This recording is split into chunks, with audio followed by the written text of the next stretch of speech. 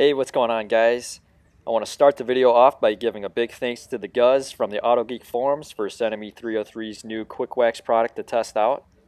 And the Guz is all over all the different detailing forums, posting up great content and reviews, and I always enjoy going through them and reading them.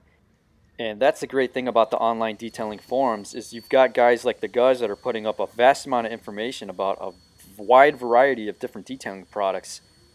And so with the 303 Quick Wax here, it's getting hammered in its initial reviews, and I can tell you exactly why that is. This does not have the slickness that many of the other spray waxes on the market currently have.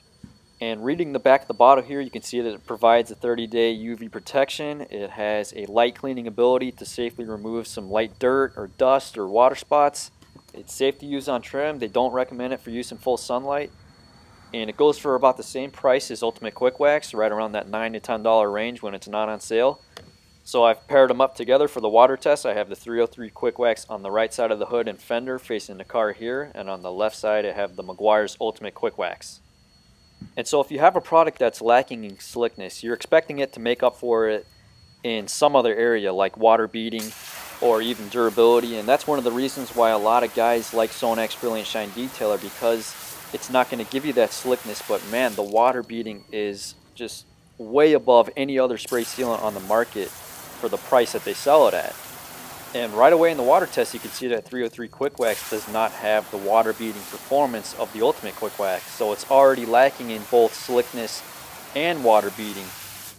And so if I was coming out with a new spray wax in the consumer market, one of the things that I would do was take a look at the competitor products like Meguiar's Ultimate Quick Wax here and the Turtle Wax Ice Spray Wax and figure out why it is that people like using these products so much.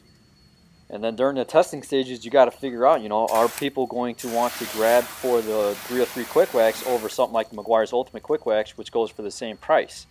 Now, where these products differ is the 303 advertises that cleaning ability and also the 100% silicone-free formula.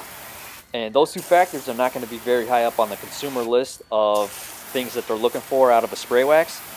And in the more experienced detailing environment that are not around a body shop setting, there's absolutely nothing wrong with silicones and formulas. And the only guys who have to really worry about certain silicones are the body shop guys who are in a fresh painting environment. I mean, if the overspray from the silicones gets onto the paint, it can cause fish eyes. But once you're out of the body shop setting, there's nothing to worry about.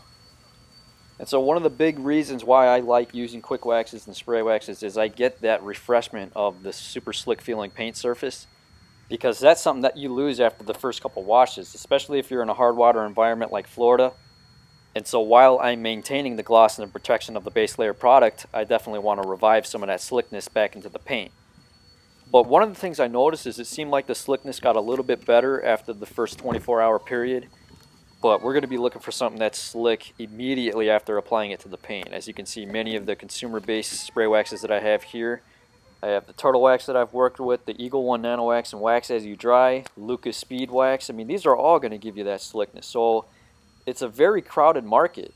And it's even more crowded when you get into the enthusiast market. And 303 products are definitely sold on AutoGeek that also sells a lot of the Optimum line, the McKee's 37 line, Blackfire, Sonax, Pinnacle, I have Prima also up here as well, which is really good and I enjoy working with. And as you can see here, I've got tons of products that I still have to get up on video. I'm going to try and do one, at least one video per week and see if I can keep on that schedule. But hopefully you guys enjoyed the video review. Uh, for the 303 guys, I think if you added some slickness and maybe some better beading into the quick wax formula, it's going to be a lot more competitive against other products.